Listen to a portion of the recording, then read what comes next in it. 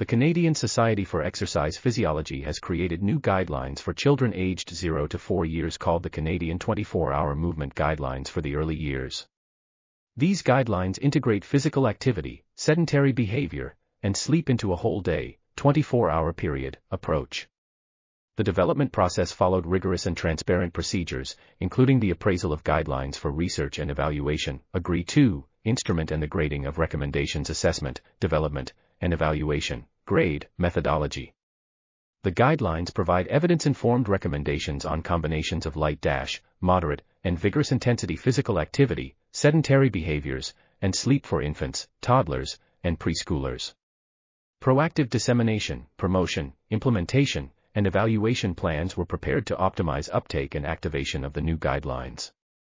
These guidelines represent a sensible evolution of public health guidelines by framing optimal health within the balance of movement behaviors across the whole day while respecting preferences of end users. Future research should consider the integrated relationships among movement behaviors, and similar integrated guidelines for other age groups should be developed.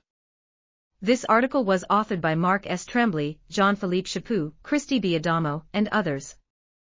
We are RTCL.TV, links in the description below.